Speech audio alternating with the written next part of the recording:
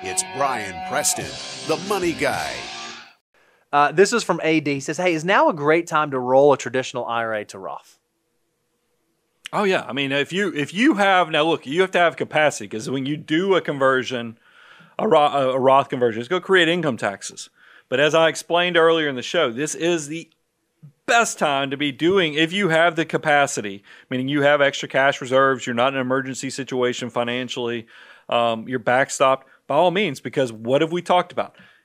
account values are down. So when you do the conversion, the tax impact, impact will be reduced. When we do hit recovery mode in the long, you know, in the next few yep. months, you know, when that, that rubber band effect, because the faster we go down, the more energy is kind of being built up. And when we hit recovery mode, all of that recovery on those converted assets would be tax free. So, yes, this is a great time to be opportunistic on, on that type of planning strategy.